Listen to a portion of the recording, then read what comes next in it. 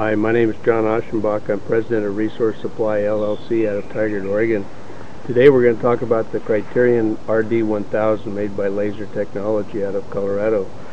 The Criterion RD1000 is used for timber cruising. It's a very, very good instrument for doing variable plot cruising.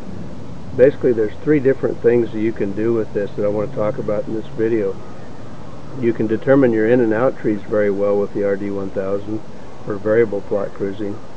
The second thing is you can measure the diameter at any point on the bole of a tree very well with this.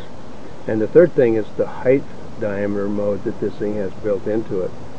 Now the RD1000 weighs 1.1 pounds. It's uh, you know, got a fairly good size to it, but uh, really very easy to hold on to, very very easy to use.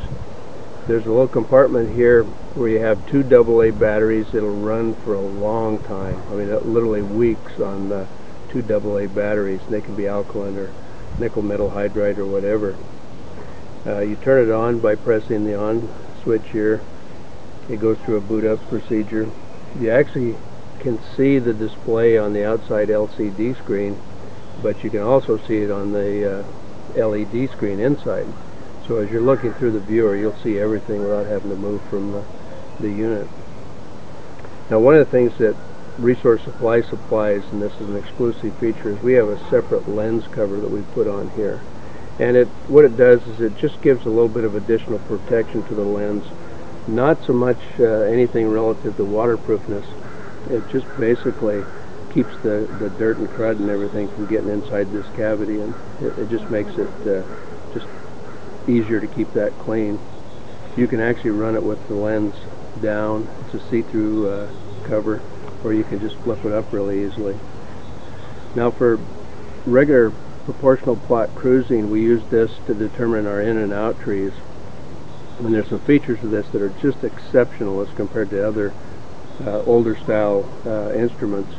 First thing is you can have any basal area factor that you want from 1 to 127 square feet of basal area. And that's just a menu option. Just choose whatever you want. When you're looking through this, you're going to see one continuous bar for whatever basal area factor that you select.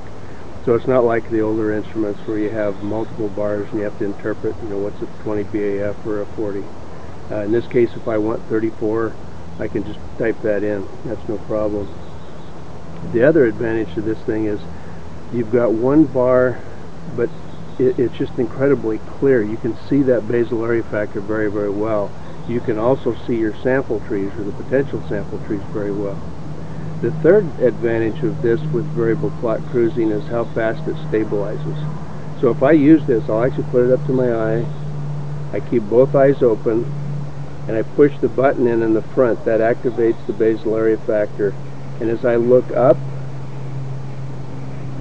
or if I look down at a steep angle, it adjusts for the slope very, very quickly, much, much faster than the old style instruments where you're punching the brake button.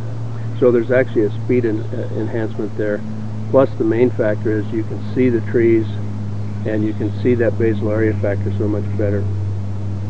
Now the other thing I want to talk about is the uh, uh, capability of this to measure diameters.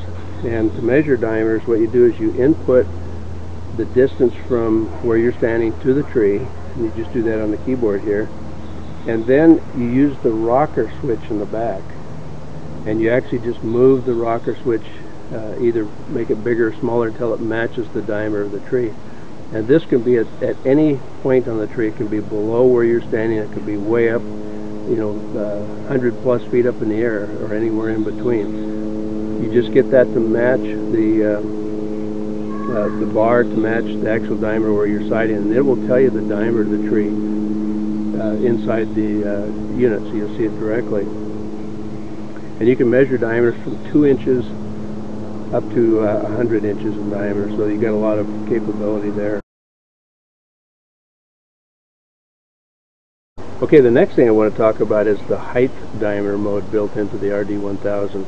In this, you actually will enter the distance to the tree and then once you have that in there you'll actually enter a, a diameter that you'd like to cruise to. Like if you wanted to cruise to 8 inches you know the point on the bole that's 8 inches in diameter you would enter that. And then what you do is you actually will sight the base of the tree and you'll you'll push a button. And then as you and you'll keep the button pushed in.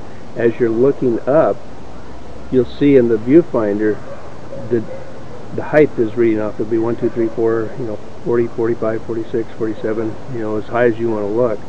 When you get a match for the the width of the bar to the point on the tree that you're looking for that's where it would be 8 inches or whatever diameter that you've said that you want to have on this.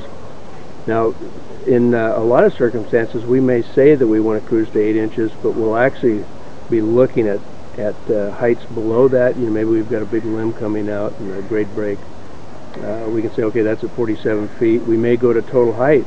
We can just go past that point uh, uh, after we've got this set up it's just reading the different uh, uh, heights based on the angle that we're we're basically shooting this thing at.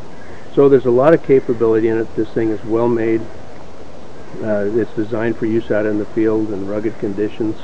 Doesn't matter if it's raining or, or anything like that. It'll do the job for you if you have any questions if you'd like to uh, get some more information you can email me or give me a call and we'll have our contact information at the end of the video here